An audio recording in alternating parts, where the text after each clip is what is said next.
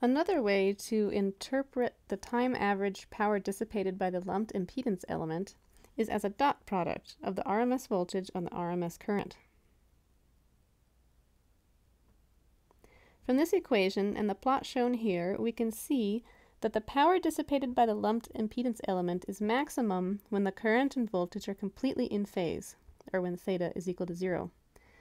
That is, only the in-phase component of the voltage and the current leads to time average power dissipation.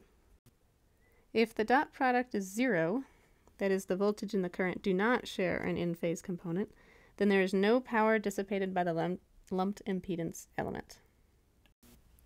Let's now see how this relates to Ampere's law and propagating electromagnetic waves. When we studied Ampere's law, we saw that both conduction and displacement currents can generate magnetic fields. The phasor domain pointwise form of Ampere's law is shown here. If we apply the dot product interpretation to Ampere's law, we can see what causes power dissipation if there's an in-phase component. In this case, the current is the conduction or the displacement current, and for the voltage, we will use the electric field, since voltage and electric field are in phase with each other.